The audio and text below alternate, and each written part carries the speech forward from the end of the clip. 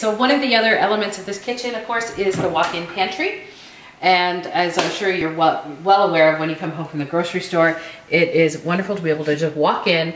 It is motion sensor activated, so you can go in with your groceries, not have to worry about fiddling with lights, and just pop them down on the floor and get them put away. Solid maple finishing throughout in the pantry in there as well.